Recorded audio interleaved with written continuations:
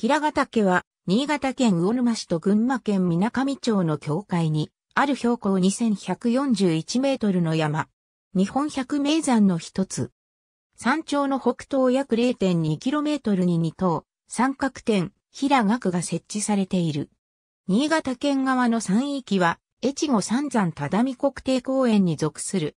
新潟県側は、阿賀野川の支流只見川の流域、群馬県側は、利根川の源流地帯で、日本の中央分水嶺となっている。山頂の南側は、傾斜が急であるが、北側は平坦面となっており、ここに地頭が発達し、高層湿原ないし雪田草原が形成されている。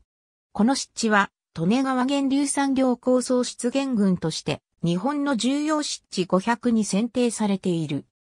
これによると、湿地タイプは、高層湿原、雪田草原、選定理由は、宮山水苔、イボ水苔などで特徴づけられる、高層湿原、エゾ細い群落などの小地等の植生及び、岩井町、白山小桜などの生育する、雪田草原が発達しているとされている。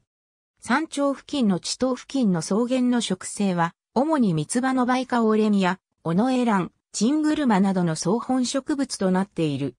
地頭周囲には、種子植物の毛線苔が繁茂し、湿原の大きな特徴である水苔類の繁茂は見られない。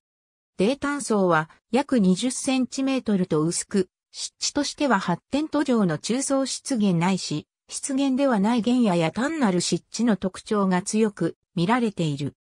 この山の登山道は、魚沼市高野巣地区の国道352号上に登山口があり、そこから下台倉山台倉山池の竹を経て、平ヶ岳山頂に至るのが正規ルートである。工程が長い上に山中に山小屋はなく、キャンプも禁止されているため、見客者向けの山である。よって、登山口を早朝に出発する必要がある。この他にショートカットとして、中の麒麟道からの登山道があるが、林道は入会地のため一般車両の乗り入れが禁止されており、登山開始点までの交通の便が悪い。1986年10月に広宮成人親王が登った際には、中の麒麟道から登り、高野巣登山口へ降りるコースが使われている。山頂はなだらかで地頭があり周辺は草原となっている。山頂付近の地頭保護のため木道が整備されている。平ヶ岳は利根川源流部自然環境保全地域に含まれる、県は倉山と尾瀬国立公園に含まれる、大白濁山を結ぶ、稜線上にあるが、2015年現在、そのいずれにも含まれない。ありがとうございます。